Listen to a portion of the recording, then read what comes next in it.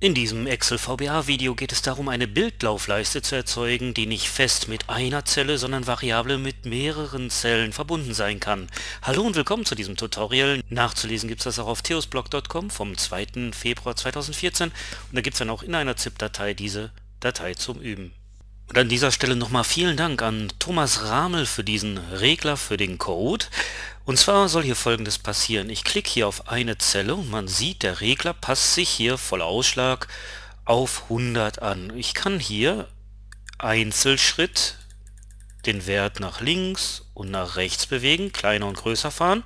Ich kann jedoch auch, das ist ein ActiveX Steuerelement, ich kann jedoch auch mitten in die Fläche klicken und dann bewegt er sich jeweils in 10er Schritten oder nach rechts um 10 größer. Und jetzt der Clou, wenn ich auf die nächste Zelle klicke, nimmt der Regler diesen Wert an und ich kann diese Zelle hier verändern. Dieses Steuerelement äh, beinhaltet einen Code, der auch dafür sorgt, dass wenn ich hier außerhalb des äh, Bereichs klicke, in, den ich in dem ich eigentlich arbeiten möchte, dass hier der Co äh, Regler dann nicht aktiv ist. Jetzt hat er nämlich nichts zu tun oder wenn ich hier zu viel markiere, Klicke ich aber eine Zelle an, kann ich wiederum diesen Wert hier verändern. Schauen wir uns an, wo der Code verankert ist. Ich drücke mal Alt F11 für den VBA-Editor und ich sehe hier, es ist kein extra Makro-Modul da, sondern übers Tabellenblatt Projekt Alpha, so heißt das Blatt, wird der Code in das Ereignis Selection Change eingefügt. Und zwar heißt der Regler Objekt Regler, Object Regler und ähm, das Tabellenblatt guckt halt auf sich drauf, gibt's das Ding? Ja, und dann wird es entsprechend angepasst. Und zwar wird geprüft, ob die Zelle, in die ich hineinklicke, ob die sich im Datenbereich Range Werte bewegt.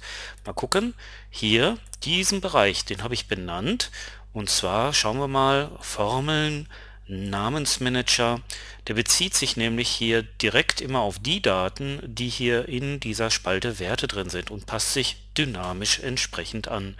Also bei einer Schnittmenge, bei einer Schnittmenge des Klicks, den ich mache und dem Wertebereich, wo meine Zahlen sind, die ich ändern möchte, wird dann nochmal geprüft, if target count gleich 1, ob hier nur eine Zelle markiert ist. Und wenn ja, verbinde dich mit der Adresse dieser Zelle, aktiviere dich. Ansonsten kriegt der Regler halt keine verbundene Zelle, darf nichts ändern, bekommt den Wert 0 zugewiesen und kann auch gar nicht geklickt werden.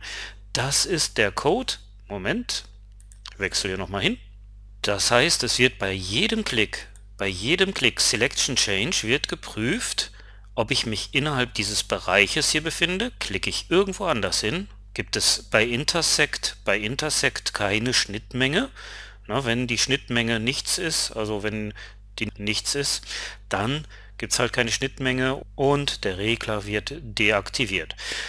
Wie ist der Regler hier überhaupt gebaut worden? Wie kann man diesen Regler erzeugen? Dafür muss das Register Entwicklertools aktiv sein und bei den Entwicklertools gibt es unter Steuerelemente einfügen zum einen die Formularsteuerelemente. Dort gibt es Regler, Bildlaufleisten. Dort gibt es aber auch die ActiveX Bildlaufleiste und die ist hier gewählt worden. Der Punkt ist, wenn man diese ActiveX Bildlaufleiste wählt, wenn man die direkt hier mit gedrückter Alt-Taste verschiebt, rastet die auch direkt an den Gitternetzlinien an. Also, man kann diese Bildlaufleiste im Entwurfsmodus kann man die ändern. Ich kann sie jetzt klicken. Ja, sie ist aber mit nichts verbunden hier. Sie ist mit nichts verbunden. Wenn ich auf Entwurfsmodus klicke, kann ich die entsprechend verschieben. Und wenn ich auf die Eigenschaften klicke, auf die Eigenschaften sehe ich, das Ding heißt Scrollbar 1. Dieses andere Objekt, das habe ich halt Objektregler genannt. Dann habe ich die Farben geändert. Ich bin jetzt wieder auf meiner Neuerwerbung hier. Ich habe die Farben geändert, ein bisschen dunkler gemacht. Ja, einfach ein bisschen dunkler gestaltet. Und dann gibt es sowas wie Large Change. Large Change, das ist das, wenn man hier mitten reinklickt. Small Change gibt es ja auch, es ist alphabetisch geordnet. Das ist der Klick auf die Pfeile. Dann setze ich halt den Large Change auf 10.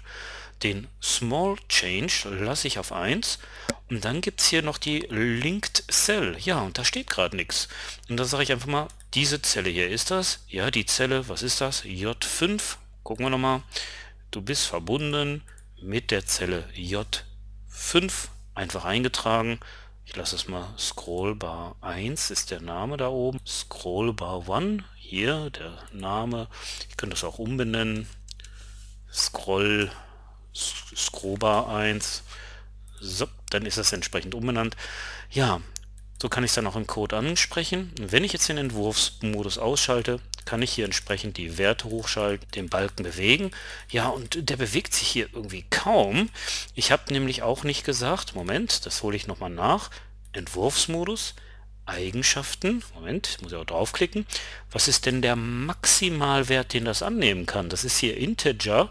Oh, das ist ein bisschen hoch und dann nehme ich mal einfach den Wert 100, von 0 bis 100 in 1er oder 10er Schritten. Das ist der Bereich, den dieser Bildlauf, den dieser Scrollbar hier bewegen kann. So, und damit das hier noch so einen Schatten dahinter gibt, habe ich einfach folgendes gemacht. Ich habe über Einfügen eine Form genommen. Diese Form habe ich hier in den Hintergrund gezeichnet mit gedrückter Taste Alt. Dieser Form habe ich dann einfach gesagt, ja, bist halt grau, ohne Rahmen und kriegst einen Schatten. So, mal gucken, der Schatten. Da ist der Schatten und dann habe ich diesen Bildlauf da wieder drüber gesetzt. Moment, ich muss dafür noch sorgen, dass der eine Ebene nach vorne kommt. Leg den hier mit meiner Alt-Taste drauf. Und dann habe ich hier den Schatten hinter der Scrollbar. Also einfach ein bisschen getrickst. Nochmal vielen Dank für die Umsetzung an Thomas hier. Ich hätte wahrscheinlich das Ganze mit dem Formularsteuerelement probiert, wäre daran gescheitert. Ja, ActiveX hilft dir. Vielen Dank fürs Zuschauen und bis zum nächsten Video.